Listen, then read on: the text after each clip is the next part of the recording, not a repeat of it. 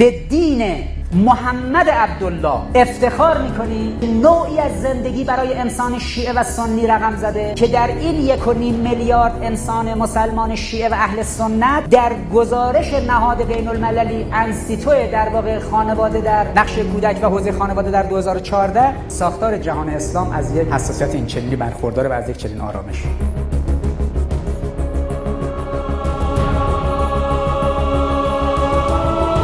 جوان دانشجو. سجده شکر بر پیشگاه خدایی که چنین پیامبری رو مبعوث فرمود برانگیخت که تطمیم مکارم اخلاق کنه. یک سند تطمیم مکارم اخلاقه که 1400 سال پیش فرمود انی با اصل و تم مکارم الاخلاق مبعوث نشدم مگر برای تطمیم مکارم اخلاق.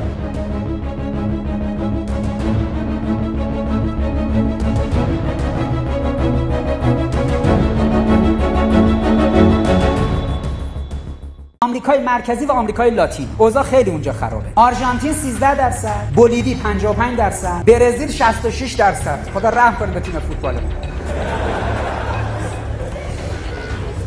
تمدن ولد زنا. شیلی 69 درصد. آقا کلمبیا دیگه سخت زده بالا. 84 درصد. این سریالاش اینجا پخش می‌شد. نمی‌دونم ویکتوریا و چی چی. مثلا سریال جامعه زنازاده بعد مثلا فارسیوان و نمی‌دونم من تو. کاستاریکا 67 درصد نیکاراگوا 72 درصد پاراگوئه 70 درصد پرو 76 درصد. آقا خیلی اوضاع خرابه. تیممون مراقب باشید میرن آلوده میشن اذیت میشن. جنوب صحرای آفریقا. کنگو 19 درصد. ببینید چرا گفته جنوب صحرای آفریقا؟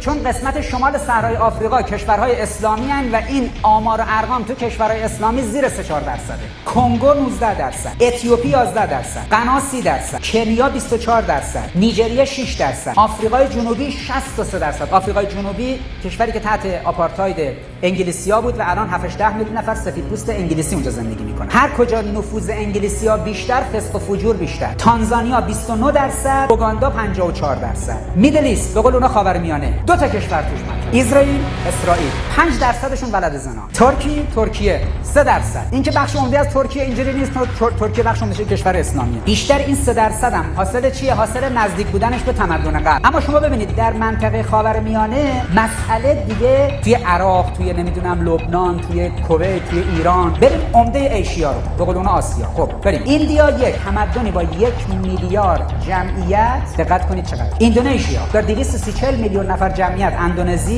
3 درصد. ژاپن یک تمدن شینتویستی 2 درصد. فیلیپین 37 درصد. چرا؟ به دلیل سیطره نظام فکری فرهنگی غرب اونجا که اونجا رو به یک بسخای می‌کنم از آقایون و خانمای توی جلسه. فاحشه خونه بزرگ تبدیل کردن. پایگاه دریایی کلارک پایگاه هوایی سوبیک و غیره. کره جنوبی دو درصد. تایوان 4 درصد. ببینید آسیا چقدر سطح این مسائل درش پایینه و جهان اسلام چقدر اینجا خوشنام. جوان دانشجو. سجده شکر بر پیشگاه خدایی که چنین پیامبری رو مبعوث فرمود برانگیخت که تطمیم مکارم اخلاق کنه. یک سند تطمیم مکارم اخلاقه که 1400 سال پیش فرمود انی و تم مکارم الاخلاق. مبعوث نشدم مگر برای تطمیم مکارم اخلاق. یک سندش اینه که یک ملت 77 میلیونی اجازه یک بی اخلاقی در حد یک وبسایت پر نداده. تمدن نکبت 450 میلیون وبسایت پر داده تمدن اسلامی و تمدن ایرانی از نظر زنازادگی بسیار آمارش در واقع ناچیز و پایینه سایر نظام های اجتماعی. این تابلو شرمساری اونی که باید بشینه روی صندلی مسئله حقوق بشر کیه؟ اون کسی که تو جامعهش جوری مدیریت کرده که اینجوری جلو رفته. چرا صد و اتوبان و اینترنت و کامپیوتر و فضا رفتن و موارد دیگه شو به رخ ما می‌کشن؟ مناسبات علوم اجتماعیشون روانشناسی فرویدی اریکسونی روانشناسی پیاژه روانشناسی دیگهشون چرا جلوی مصیبت نگرفته؟ چرا جامعه شناسی پارسونز جامعه شناسی وبر جامعه شناسی شلر و دیگران نتونسته جامعه رو اصلاح کنه. به اعلامیه جهانی حق خدا. اگر به حق خدا انسان عمل کردی و حدود خدا رو رعایت کردی جامعه تسکیه میشه تصفیه میشه پاک میشه و الا جامعه زنازاده معلومه که عذاب برش نازل میشه. جامعه که رباخاره معلومه که عذاب برش نازل. این گزارش یعنی نسل و هرس هلاک شده. زنان هلاک شدن و نسلشون هم هلاک شده